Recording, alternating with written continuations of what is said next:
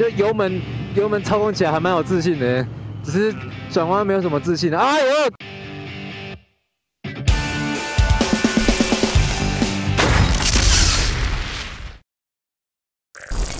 哎，各位车友好，我是教师。今天我来到的是富哥的怪号重机，要进行所谓的重车老实说的单元。那今天我们测试到的车子呢，是凯旋 Triumph 的 Truston R。Truston R 它其实就是过去 Truston 九百那升级到一千两百 CC 引擎的版本。可以，然后除了引擎之外，它还有就是配备的前倒叉跟后欧。那正常来讲，你会觉得说，哎，改了倒叉之后，应该操控性变更好嘛？但是实际骑完之后啊，我自己的感想啦，就是我骑完之后的感想，这一组倒叉，就做好看而已啦。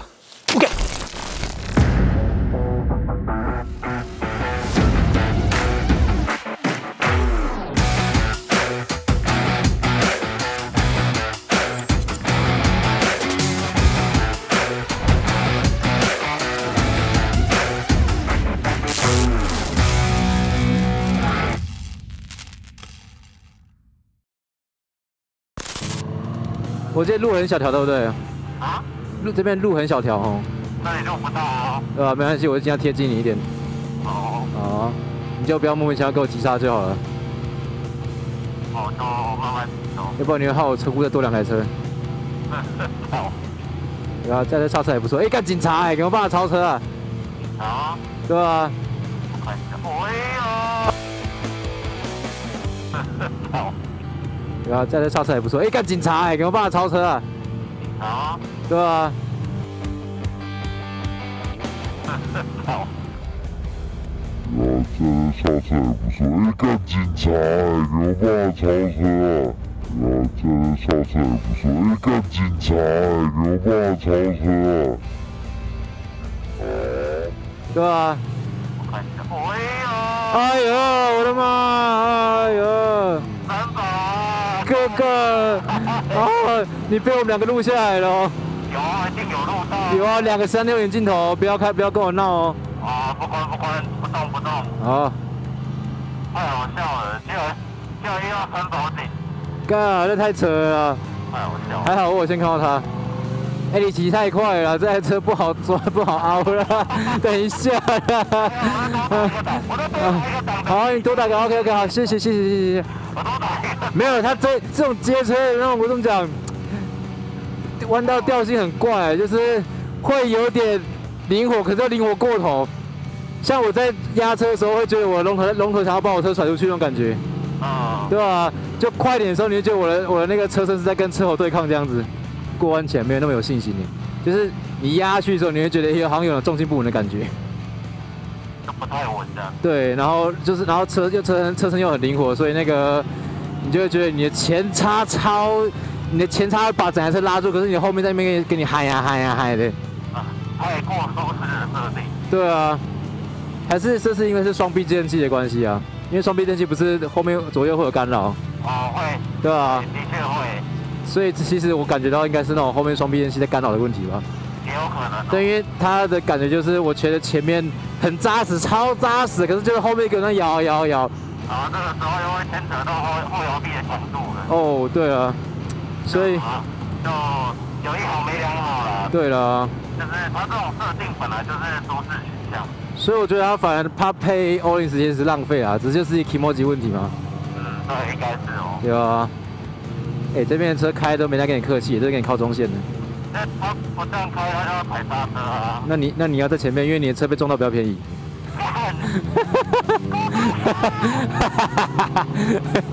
我直接卖对了，不知道吗？当然要先推一个出去试探呢。像像不是说企鹅要入海之前会先把同伴踢下去，然后看看有没有鲨鱼或者天敌。超车，超车，超车，好。过来了。哎呀，当然过来了，拜托，一千两百 CC 耶。哦，对对对。我看这个，这根本就是。太小看你了，对不起。台湾最完美的排气量，一千两百 cc，一滴都不浪费。哎，等我啦，等我啦，我没那么快，我没那么轻。对不起，对不起，我我刚刚在翻档了。哦，真的哦？等一下嘛，体谅一下这个不敢压车的男人，好不好？没有没有没有，我到市场就好了。啊，到市场就好。靠，要市场骑就会比较顺，市场骑就不会那么快。哦，对对，就不会那种加速那么猛了。对，在车是平顺啊，然后要超快还是要还是要一下下啊？因为它连动力应该都是比较舒适的。前面路感会强过后面，你知道？嗯，可是过这种小弯还蛮轻松的，你看我就不完完全没拉离合器啊，就是顺顺的这样上去而已，也不会也不会闯。我有看到，我有看到，哎、狗狗去去去去去，还 不理我哎、靠，连狗都不屌我，车狗不理，狗不理啊，狗不理教室，哎、好，好惨。因为我刚刚其实是三档，我刚刚三档过那种弯，其实连连离合器都不用后，就这样顺顺上去，它这个低速低速的扭力其实真的蛮充足的，所以我我这样三档这样低速直接吹，它也不会有那种就是啊啊啊啊那种那种感觉，不会喘啊。对，不会喘。就应该说它油门的转起来是不不暴力，可是很很饱很饱满，这个新手骑应该蛮舒服的，舒服。对啊。就前面啊，前面真的太硬了啦。这个问题是出在前面。因为我觉得是因为前叉是倒叉，路感太强，嗯，然后配上这种车身，就是有一点点过头，强硬过头的感觉啊。哦，对啊。不过如果就是骑性格的话，真的蛮棒的啊。嗯，因为倒叉看起来就是比正叉爽，这是真心话、内心话，没错。礼貌。对啊、你等一下可以试试看啊，我觉得还不错。反正这还不贵啦。哎哎、哎哦，哎，要签名的，是不是？嘿签名啊，不要签名啊。富哥说签名，签名就可以借。借的，是借的吗？签名就可以借。签名签什么？刚好我真的觉得骑这种车要骑很快，那真心脏要超大颗的。对啊。啊，它是不稳啊，应该也不是说不稳，就是那个离那个操控感就有点诡异啦。就头过身不过啊，对，没错啊，就后面晃啊。只是就是因为它的那个低转速扭力很饱，所以基本上你就算不拉离合器，这样转速一两千也是过得去啊。就油门油门操控起来还蛮有自信的，只是转弯没有什么自信的。哎呦！这真的是妈过来我们这边的，靠！哎、王他他是他是想要怎样外外内外就对了。我差点就车库多一台，你知道吗？对啊，那太夸张了啦！哦。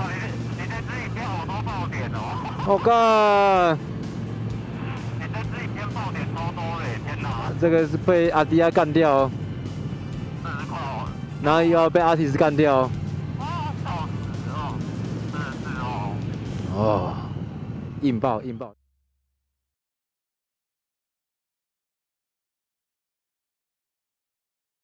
OK，那我们先来做一下这台 Truston R 的总结好了。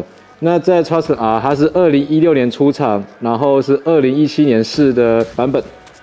那它的新车售价是蛮高的，七十九万八。其实如果说是以七十九万八这个价钱的话，它已经可以买到一些入门的公升级仿赛。不过这一类复古车它真正的价值啊，其实就是它它那个气质跟那个氛围啦。所以操控跟性能其实并不是它的重点。那一般人会觉得说，对操控跟性能有加分的东西，像什么倒叉啊、或 O 之类的啊，在这上面呢、其实就真的只是一个漂亮的装饰品而已啦。就是让你看的有 feel，然后更胜过于你骑起来有 feel 的那种东西。这个东西其实我们在骑的时候就有非常明显的感觉，你看我一直外抛就可以知道了。说实在的，以新车价接近八十万来讲，真的是需要蛮有爱的啦。可是如果说你是买二手车的话、这个的问题就会比较小一点。它甚至可以打动一些原本是想要锁定那种比较新的日系复古车的车主，因为以二手车的市场来看啊，这种收藏性质偏高的车款，买到事故车的风险相对比较低一点。那以它双缸那两百公斤左右的车重，对日常骑乘的负担来讲，其实也不会太大。而且传昂普它的复古车车系在妥善率上面也相对稳定，只是如果说你真要买这种车啊，因为毕竟它就不是所谓的市场主流车款，所以我个人的建议会是，你如果说看到二手车市场有出现这样的车，然后价钱跟它的物件是你可以接受的话，那就赶快买下来啊。因为如果说你要再等到相同条件的物件出现，其实真的是蛮需要缘分的。OK，那以上就是我对 Truston R 的一些简单的感想。好，感谢各位，拜拜。